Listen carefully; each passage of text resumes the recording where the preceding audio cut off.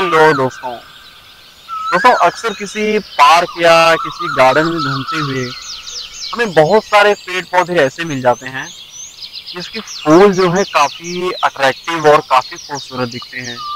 इसी प्रकार का ये एक ऐसा पौधा है। आइए देखते हैं आखिर ये किस चीज़ का पौधा है। इसके फूल वाकई बहुत सुंदर है। आइए देखते हैं।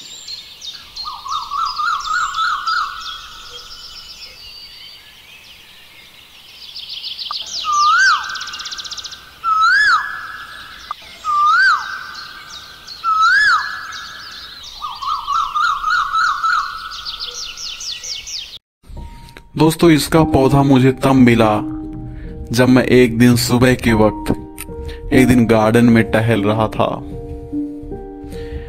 दिखने में इसका फूल मुझे कुछ अलग और बेहद ही खूबसूरत लगा, जो मेरे मन को छू गया।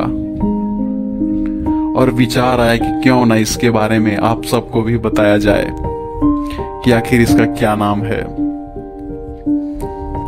दोस्तों, इसका मूल स्थान तो अभी तक अज्ञात है। ये दिखने में आपको गुलमोहर के पौधे जैसा लगेगा।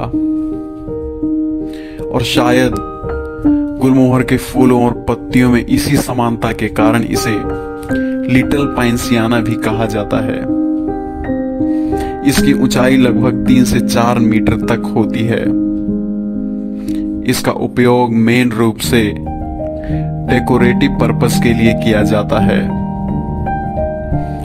दोस्तों, कुछ पब्लिकेशंस के अनुसार ऐसा माना जाता है कि इसकी लगभग 70 से 165 स्पीसीज मौजूद हैं। दोस्तों, इसका जेनरिक नेम एक प्रसिद्ध फिजिशियन फिलोसफर और बोटैनिस्ट एंड्रियाई सेसल्पाइनो के नाम पर रखा गया है। जिसका नाम है सेसलपीनिया।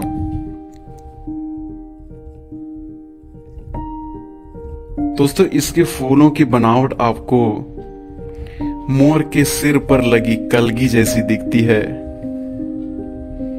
और शायद इसीलिए किसी विद्वान ने इसका नाम मोर का फूल रखा है।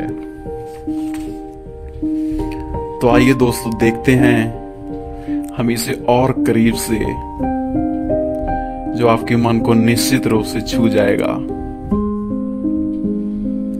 वीडियो को लाइक करें, शेयर करें और चैनल को सब्सक्राइब ज़रूर करें और बेल आइकन दबाना ना भूलें, जिससे आप तक और भी ऐसे मन को छूने वाले फूल पहुँचते रहें। धन्यवाद।